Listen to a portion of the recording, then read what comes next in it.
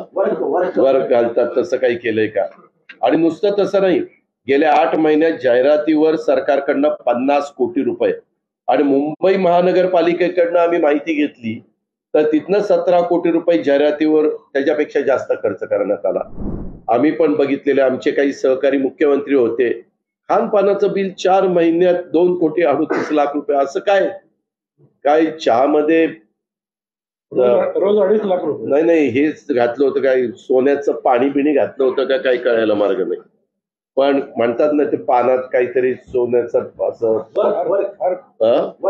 वर घालतात तसं काही केलंय का? आणि नुसतं तसं नाही. गेल्या आठ महिन्यात जाहिरातीवर सरकारकडनं पन्नास कोटी रुपये. आणि मुंबई महानगरपालिकेकडनं आम्ही माहिती घेतली तर तिथनं सतरा कोटी रुपये जाहिरातीवर त्याच्यापेक्षा जास्त खर्च करण्यात आला. म्हणजे तुमचा खर्च तुमचं सगळे फोटो हसरे दाखवण्याच्या करता ते पण तुम्ही नियमाने करत नाही. नियमाने सुप्रीम कोर्टाचं असं सांगितलं फक्त प्राईम मिनिस्टरचा आणि चीफ मिनिस्टरचा फोटो असला पाहिजे. तसं करतच नाही. त्यांना पाहिजे ते फोटो ते देत आहेत आणि ह्या पद्धतीने यांचं काम चाललंय. एस टी कर्मचाऱ्यांचा पगार होत नाहीये. पगाराअभावी कर्मचाऱ्यांचं कुटुंब उपासमारीचा सामना करतंय.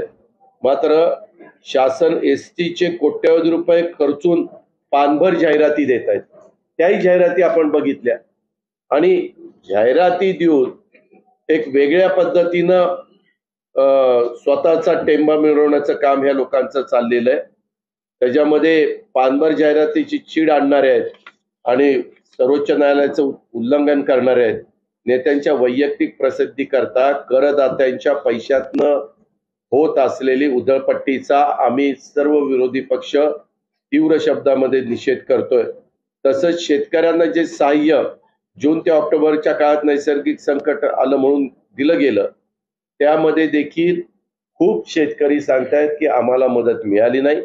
तसंच वेळेवर परतफेड करणाऱ्यांना पन्नास हजार रुपये आम्ही देणार असं स्वतः सीएमडीसीएमनी सांगितलेलं होतं. ती पण अद्यापर्यंत दिली गेलेली नाही. मधी सांगितलं की पुरवणी मागण्यात मंजूर झाल्यानंतर आम्ही देऊ. पुरवणी मागण्या मंजूर होऊन दोन महिन्यापेक्षा जास्त काळ लोटलेला आहे.